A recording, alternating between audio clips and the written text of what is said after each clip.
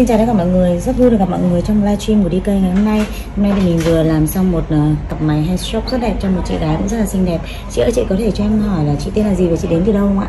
À, em tên Chi ạ, em đến từ Sài Gòn À chị đến từ Sài Gòn, một khoảng cách rất là xa thì lý do vì sao mà chị lại uh, đi từ Sài Gòn ra tận Hà Nội để làm lông mày đấy ạ?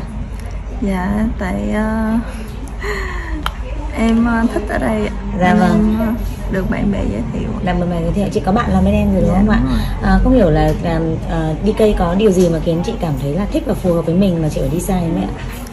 Thì em uh, thích dáng mày tự nhiên nên em uh, tin tưởng và đến đây làm Dạ vâng, cảm ơn chị. À, ngày nay thì à, sau khi mà trải nghiệm cái dịch vụ lông mày tại đi cây à, thì chị cảm thấy như là trong quá trình làm mình cảm thấy đau đớn hay khó chịu hoặc là à, có vấn đề gì không ạ? Không ạ, em thoải mái lắm ạ À thoải mái. Và sau khi làm xong thì chị thấy cặp lông mày của mình như nào? Chị có cảm xúc như nào? Dạ, em ưng lắm ạ cảm ơn chị Chi. Dạ. À, vâng, à, cái à, sợi lông mày hair shop là cái công nghệ mới nhất bên em cho nên là à, dáng mày thì em sẽ thiết kế cho chị Chi một dáng mày rất là tự nhiên và hài hòa. Mọi người có thể nhìn thấy ạ, ở đây Đó, chị Chi thì sợi lông mày rất là tơ. À, cái thứ hai nữa là à, chị cũng à, khá là thưa lông chị ờ, mong muốn có một cái dáng lông mày nhẹ nhàng hợp mặt để mọi người có thể nhìn thấy khuôn mặt của chị Chi rất là hiền.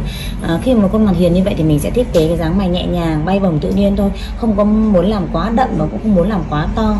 Và sau khi cái cặp lông mày bong ra thì mọi người sẽ thấy cái sợi lông mày đã rất là mềm mượt.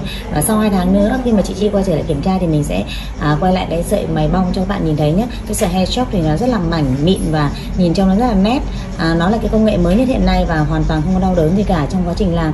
À, chỉ có mất thời gian 30 phút là chúng ta cặp có, có cặp mày mới rất là đẹp rồi. À, cảm ơn chị Chi rất là nhiều và mong rằng chị Chi sẽ giới thiệu bạn bè đến với DK nhé à, xin chào và hẹn gặp lại trong những livestream sau. Bye bye